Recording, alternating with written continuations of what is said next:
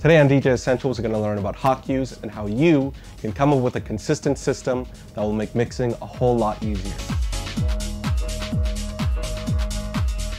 One of you guys down in the comments asked me to create an episode about hot cues, and here I am delivering on a very important aspect of DJ. To jump straight into it, most DJ controllers will have eight performance pads available, but at minimum having four pads that you can use for hot cues will make DJing a whole lot easier. When coming up with hot cues, it's really important to come up with a consistent system that you will follow for every track you analyze in your DJ software. What I mean by that is that each hot cue, either by its position or color, will represent a certain function. On the right here, I've already set up a track with the typical hot cues I like to set, and on the left here is a track that has just been analyzed with no hot cues done. Today what I'm going to break down is my system for hot cues and the steps I take to set up a completely brand new song according to that system. So of my eight performance pads, you can see that seven have been used up for this song. But typically for me, four to six of these performance pads are reserved for specific sections of a song. First performance pad labeled in red in my software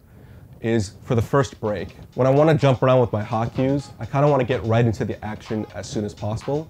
So instead of starting from the intro, I like to start from the first breakdown, which is right here.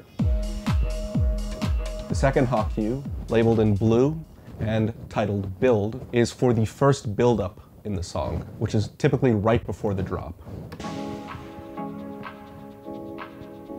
I typically use this hot cue when I'm transitioning if I want to start my song right at the build-up to get a nice quick transition into the next drop. Once I start with my mixing point or if I'm in a loop for my exiting track, I just typically hit the build hot cue and I have enough room to build up and transition into the drop. The third hot cue, labeled drop one, is for is pretty self-explanatory. It's for the drop. And an interesting part about this song is that I have two hot cues for drop. Because the first drop is kind of like a faux drop in a sense, where it is the main chorus of the song, but later on, another chorus has a lot more energy to it. Labeling and having both hot cues for each of those sections can really help me out. You can tell this is a little mellowed out track. It's nice and chill. And the second hot cue, right below it, I like to typically put it. A lot more energy in this drop, so if I'm transitioning, I might want to go into this drop depending on the type of vibe I'm going for with the transition. If I want to bring things down slightly, I can build up and go into the more softer drop. But if I want to keep the energy going, or if I want to really build up the energy, going into the second drop will really help. The last hot cue for the top row is for the second break. The second breakdown in a track typically happens after the first chorus or drop, and it really brings down the energy and prepares for the next build up into the second drop. So just with these four hot cues already, we already have a really good system to jump around the track a lot. Instead of having to wait through the intro, wait for the first breakdown, the build-up, and the drop. If I wanted to go right from the build-up to the drop, I can. Let's say the track is playing right here, and I want to go to the build-up a little bit early after this phrase. Well, I can. I can jump right to that build-up with a press of the button. Another thing that's important to enable with hot cues is to enable quantization in your DJ software. There's some use cases where turning off quantization might be better, but what quantization really is, it takes away that strict timing you have to make when you trigger a hot cue on a beat. You have to be exact with your timing to a degree, but depending on how strict or loose you set the quantization, you have a bit of wiggle room to hit the cue button and it will automatically snap to a beat. To enable quantization in Rekordbox, it's right beside the platter icon on a corresponding deck labeled in this little cue. To further delve into the settings on how you want the snapping of the quantization to affect the track, hit the cogwheel up here, you go to controller, and you go to others, and right here you can set the level of quantization for each sort of input. For hot cues, I like to set it for a quarter beat, while for loops, I like to set it for a full beat. So that's the first row down. The second row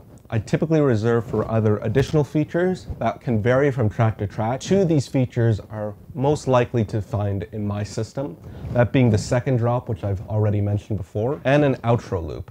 Now we've already talked about auto looping before in an earlier tutorial, and I've spoken already that I use it quite a bit. So the last reserve hot cue is typically for my exiting loop. And as you can see, it's just an exiting loop that triggers automatically if I pass that hot cue. Now in my system, there are six sort of essential hot cues that I have in almost every track. The other two are reserved for other fundamentals. For this case, I've just had a second hot cue here for another buildup and that's right before the second drop. Having a build-up hot cue and a drop hot cue is really useful for when I want to transition quickly. So if I'm having two drop hot cues, having two build-up hot cues can also help me out. And the last one I haven't assigned to anything yet. I can look throughout the track and figure out a good place to put it, but for now, this is sufficient for me. What you can do though with these other hot cues that are reserved for just sort of general features is you can have hot cues for lyrical parts if you want to cut to an a cappella or a part of the lyrics. You can have hot cues for sort of instrumental chops so that you can drum between them and create your own melodies on the fly. Any sort of use case that fits the track is ideal. So now with the track on the left here, I'm gonna apply that same system of hot cues to this track, and I'm gonna break down the steps I do to build this sort of system. The first thing I like to do is I like to find the first drop in the track. Some controllers have it that the color you assigned will change the color of the hot cue. With some editing magic, I can show what an example that will look like. But for my controller, it's one static color. So I like to rely on the position I place the hot cue. The drops are always the third hot cue on the top row.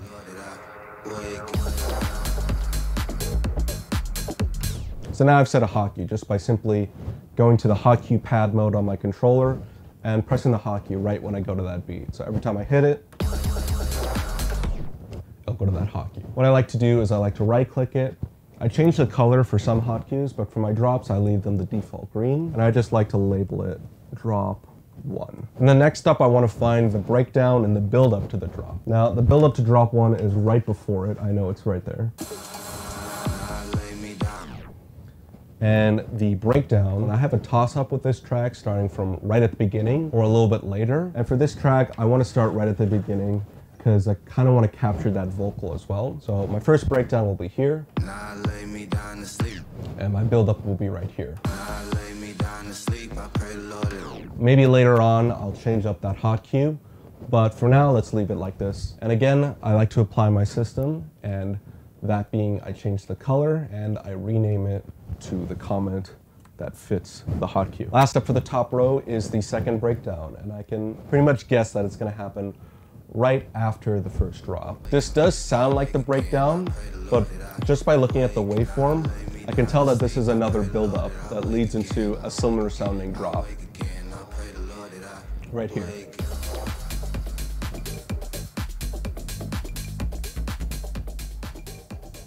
So for now, I'm gonna move forward again until this drop ends. And I think that's the hot cue I wanna set.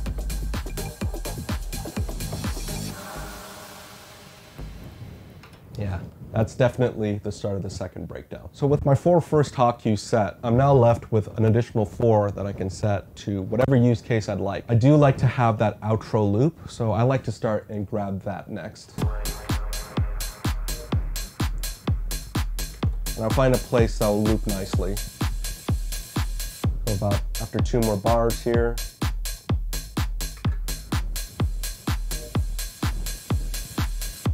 And this seems to be looping just fine. So I'll set that and I'll rename it to outro loop. And for the outro loops, I like to keep the color the same, but I also like to tick this little looping icon so that it becomes an auto loop. So now I'm left with three additional hot cues that I can figure out where I want to put. I can again put it on vocal chops if I'd like, but I think I want to reserve it to the same use case I put here because I believe there is a drop here that is either a faux drop that's something different or has a lot more energy. I think the second buildup should be around here.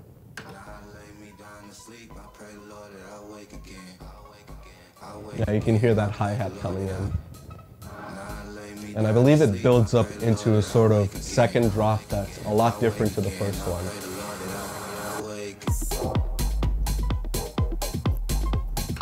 And it does, and I want to definitely capture that so I have a lot more versatility. And just like that, we've set up the same system that we use universally for all tracks to this track. And it only took a couple of minutes. So now I can pretty confidently jump around the track to either the drops, uh, the build-ups, the outro loop, all that areas that I deem very important in just a click of a button. So that's gonna do it for this episode of DJ Essentials, and I just wanna apologize for not getting an episode out last week. I was feeling a bit under the weather in the first part of the week, and the second part of the week, things picked up and I had a lot of other things on my plate that I needed to deal with. But for this week, I plan to release an additional episode than normal because the next topic that we're gonna talk about follows pretty much neck and neck with cue points, and that's mixing sort of freestyle-ish, where you don't really plan a set, but you plan out your tracks. So if you enjoyed the episode, be sure to like and comment, and subscribe and turn on notifications for future releases. Thank you so much for watching, and I've been Zeeshan.